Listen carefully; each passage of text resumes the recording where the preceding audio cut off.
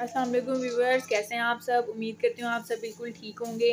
तो आज आपके लिए मैं एक न्यू रेसिपी लेके आई हूँ, नमकीन प्याज गोश्त। जिसके लिए मैंने आधा किलो चिकन ले लिया है। तो ये इसके अंदर मैंने दो बड़ी इलायची ऐड कर दी है और चार प्याज लेने हैं छोटे छोटे से मीडियम साइज़ के ले लें बस। और उनको इस तरह से बड़े बड़े क्यूब्स में कट करके इसके ऊपर रखना है।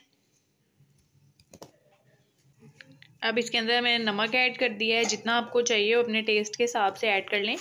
वैसे मैंने वन टेबल स्पून ऐड किया है। और पानी इसके अंदर डालना है हमने थोड़ा सा ज़्यादा, ताकि चिकन भी हमारा गल जाए, प्याज भी गल जाए, और ये हमारा रेडी हो जाए। फिर मैं आपको बाकी स्टेप बाय स्टेप बताती रहती हूँ।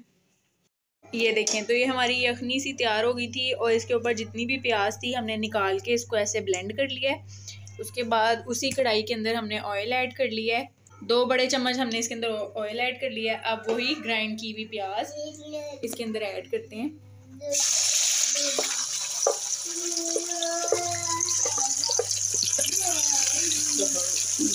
इसको 10 से 15 मिनट तक हम भूनेंगे अच्छे तरीके से। और फिर मैं बताती हूँ। ये प्याज हमारी ब्राउन हो चुकी है, सही तरीके से। इसको हमने भून लिया। अब इसके अंदर आधी प्याली दही ऐड करेंगे। ये ऐड कर दिया दही। साथ ही इसके अंदर हम छोटी इलायची ऐड करेंगे। तीन ले लिए मैंने। छोटी इलायची डाल दी साथ ही। और हरी मिर्चें मैंने तीन से चार ले लिए हैं, इसको अच्छे तरीके से धो के। ये पूरी पूरी ऐसे ऐड कर देंगे। अब इसको थोड़ी देर के लिए भूनेंगे, ताकि इन सब चीज़ों का फ्लेवर आ जाए अच्छा सा। इसको हमने भून लिया अब इसके अंदर जो यखनी और हमारा चिकन था, वो इसके अंदर ऐड करेंगे। और साथ में काली मिर्च जाएगी इसके अंदर। हाफ़ टेबल स्पून इसके अंदर काली मिर्च ऐड कर देते हैं। अब हमने इसको इतनी देर तक पकाना है कि इसका ये पानी यखनी का खुश्क हो जाए और घी ऊपर आ जाए, ठीक है?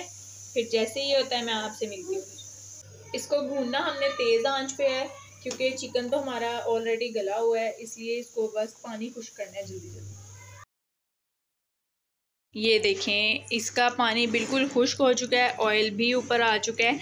ये हमारा नमकीन प्याज गोश्त बिल्कुल रेडी हो चुका है। आप ये रेसिपी ज़रूर ट्राई कीजिएगा। आपने नमकीन, गोश्त तो खाया है बीफ का, लेकिन ये नहीं खाया होगा मेरे ख्याल में। तो इसलिए आप ये रेसिपी ज़रूर ट्राई कीजिएगा। इन मिलेंगे नेक्स्ट वीडियो में। मेरे चैनल को सब्सक्राइब करें। अल्लाह हाफ़